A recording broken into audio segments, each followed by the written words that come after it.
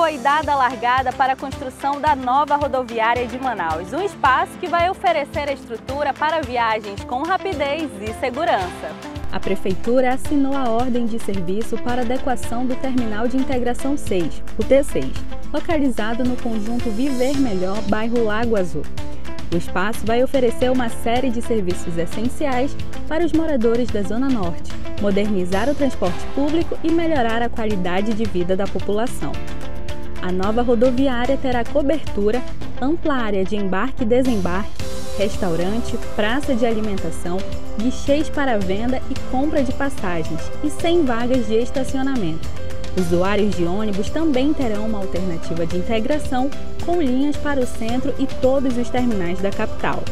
As viagens para municípios do interior do Amazonas, como Presidente Figueiredo e Itacoatiara, ficarão mais rápidas. Os passageiros não precisarão mais enfrentar engarrafamentos até chegar à zona central da cidade. São tantos benefícios, não é mesmo? O trabalho não para quando o assunto é a melhoria do transporte público na cidade.